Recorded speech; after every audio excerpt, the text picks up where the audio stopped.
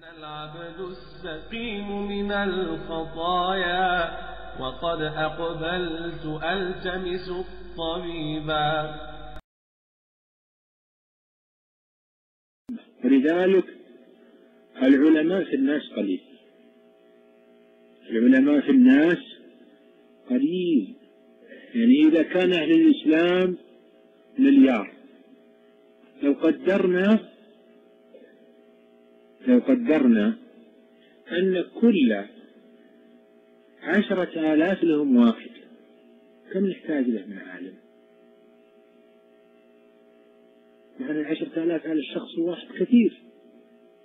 لو قدرنا أن الطبيب يعتني بعشرة آلاف تقدير كبير والعلماء الذين يقال لهم علماء ما يصلون في عالمنا اليوم إلى ألف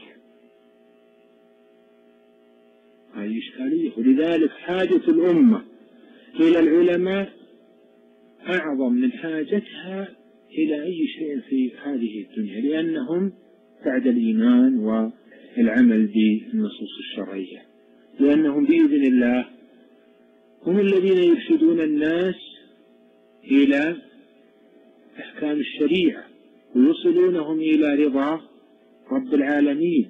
ويجعلون الناس يستنيرون بهدي الكتاب والسنة في سائر حياتهم. وأنتم تشاهدون البلد الواحد. قبل أن يوجد فيه العالم على حال فإذا وجد فيه عالم واحد انقلبت أحواله. وتفرقون بين البلدان التي فيها علماء والبلدان التي ليس فيها علماء.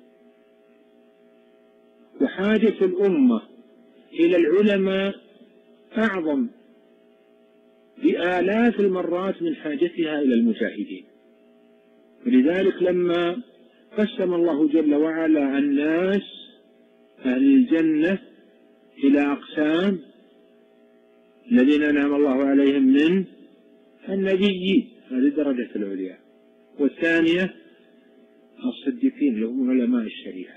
والثالثة الشهداء. وهذا أعلى مراتب الجهاد في الشهادة. ومع ذلك جعلهم في الرتبة الثالثة من الناس. الرابعة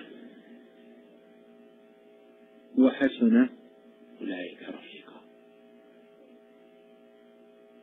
ولذلك يعني احتساب الإنسان للأجر أما في نفسه أو في قرابته أو في أبنائه بجعلهم علماء في الشريعة ترى هذا من أولى ما يكون ومن أعظم ما يحصل به الأجر.